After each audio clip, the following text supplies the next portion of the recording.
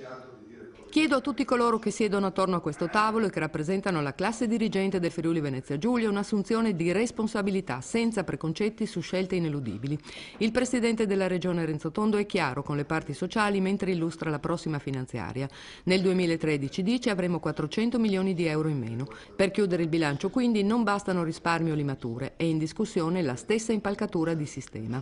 Non una lira dei 370 milioni da trasferire allo Stato secondo il patto con Tremonti per l'attuazione del federalismo fiscale, federalismo non attuato, è uscita dalle casse della Regione e pende un nostro ricorso alla Corte Costituzionale che si esprimerà nei primi mesi del prossimo anno. Sotto assedio, sottolinea l'assessore alle finanze Savino, con la riduzione della nostra autonomia finanziaria, la nostra stessa specialità.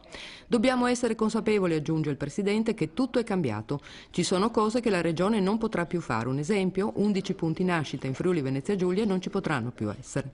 In una condizione di sospensione della democrazia, Tuttavia capisco alcune decisioni del governo. Contesto il non confronto con chi, come noi, ha avuto un comportamento virtuoso e responsabile nei confronti del Paese. Ritorna tondo anche sul tema della riduzione del debito regionale, un risultato straordinario che in questa legislatura lo dimezzerà, portandolo da 1,6 miliardi a 800 milioni. Una riduzione che non ha sottratto risorse al bilancio, anzi, meno debito significa meno rate per i mutui e liberazione di risorse per sanità, scuola, lavoro, formazione. Cardini della manovra assieme alla difesa della parte più debole della società, gli ammortizzatori sociali, al sostegno alle imprese.